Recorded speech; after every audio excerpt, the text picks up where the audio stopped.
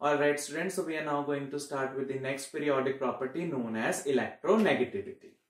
So the next periodic property is electronegativity.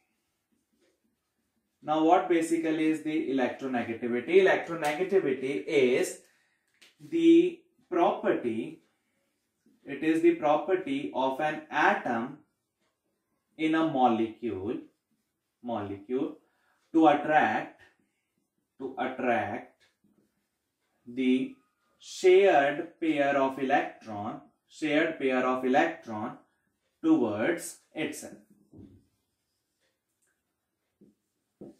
It could be a property or tendency. So tendency of an atom in a molecule to attract the shared pair of electron. It means the sharing of electron has taken place in a molecule and in that molecule there are some combination of the atoms one atom out of those is capable of attracting that shared pair of electron towards itself. That tendency or that property is known as electronegativity. Electronegativity is dimensionless. So this is dimensionless. There is, it is measured in a various scales, but those scales are all dimensionless. So electronegativity it is a tendency or the property of an atom in a molecule to attract the shared pair of electron towards itself. Now let us just take it an example and then we'll see its trend. So if we are making the bond of hydrogen chloride. So we are making the bond of hydrogen chloride. These both are non-metals so the bond formed between two nonmetals will be a covalent bond or the molecular bond and we are talking about the molecules. So this is hydrogen having one electron in the outermost shell and these are the chlorine having the seven electron in the outermost shell. Alright, the, they will share the electron, duplet of hydrogen will be complete, octet of chlorine will be complete and this pair of electron will be shared forming this bond as H bond Cl. Now, out of this hydrogen and chlorine, out of these two atoms in a molecule, one atom is capable to attract this shared pair of electron towards itself. Now, which of these two will attract that we'll have to see. Now, just for an example, let us take this case only. Hydrogen is present on the left hand side of the periodic table and chlorine is present on the right hand side. This is belonging to group number 1. This belongs to group number 17. It means it is towards the right hand side and this is towards the left hand side. This means that when we know that when we are moving from left hand side to the right hand side, atomic size decreases. So chlorine is having the lesser atomic size and more nuclear charge hydrogen is having a greater size and less nuclear charge. So, it means that chlorine is smaller and having the greater nuclear charge, hydrogen is bigger and lesser nuclear charge. So, out of these two, which is which will be going to attract this electron towards itself, that would be chlorine on the account of its more nuclear charge and lesser uh, atomic size as compared to hydrogen.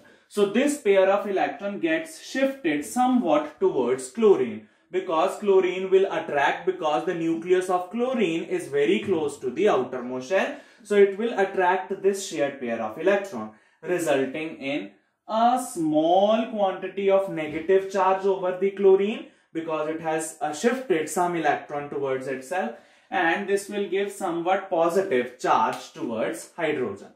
So chlorine will get somewhat negative charge over this, hydrogen gets somewhat positive charge. So, in the term of chemistry, we can say chlorine is having higher electronegativity as compared to hydrogen. So, chlorine is highly electronegative as compared to hydrogen. So, it will attract the shared pair of electron towards itself. So, this is what the concept of electronegativity is. It means the only thing that uh, factor that varies this thing electronegativity that is the nuclear charge as well as the atomic size.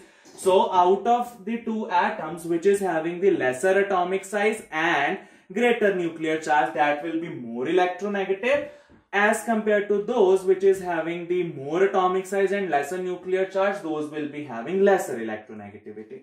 Now we'll discuss its trend along the period as well as down the group. Now let us discuss the trend of electronegativity down the group. So electronegativity down the group, let us just see this thing. So Helena, Key, Rubina, say friendship. Now this all belongs to group number 1. We are here talking of the group number 1. Now out of these things we have already discussed that electronegativity depends on the atomic size and nuclear charge. So we'll have to just see which is having the greater nuclear charge and lesser atomic size. That would be electronegative. And those which is having the greater atomic size and lesser nuclear charge that will be having less electronegativity. So moving down the group we know cesium is having the more size sorry is having the bigger size. It is having the bigger size and least nuclear pull and least nuclear pull hydrogen is having the lesser atomic size and it is having the more nuclear pull. So it means cesium will be lesser electronegative as compared to hydrogen. So cesium is less electronegative as compared to hydrogen. So hydrogen is more electronegative. So it means down the group, uh, sorry, down the group electronegativity decreases.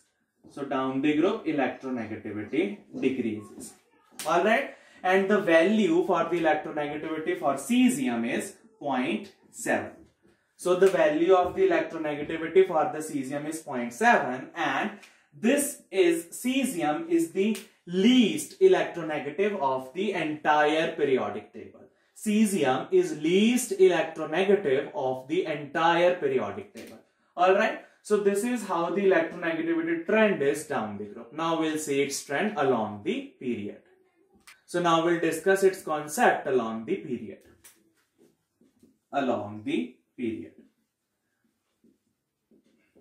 Again, let us take the example of the period number 2. So lithium, beryllium, boron, carbon, nitrogen, oxygen, fluorine. See again the concept for electronegativity is the higher nuclear charge and lesser atomic size will be having higher electronegativity and those which is having the more size and lesser elect uh, lesser nuclear charge that will be having lesser electronegativity. Now, out of lithium and fluorine, lithium is having the bigger size, bigger size and least nuclear pull and least nuclear pull whereas fluorine is having the least size, least size and maximum nuclear pull. If it is having the maximum nuclear pull, it will attract the shared pair of electron towards itself. So it is highly electronegative as compared to lithium. So it is having high electronegativity or it is highly electronegative. This is less electronegative. It is less electronegative. So it means the trend of electronegativity along the period is it will increase. Alright. So this is highly electronegative on the right hand side. This is the less electronegative on the left hand side. So along the period electronegativity increases.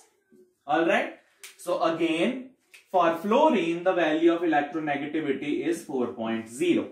Alright. For cesium it was least of the entire periodic table which was 0.7.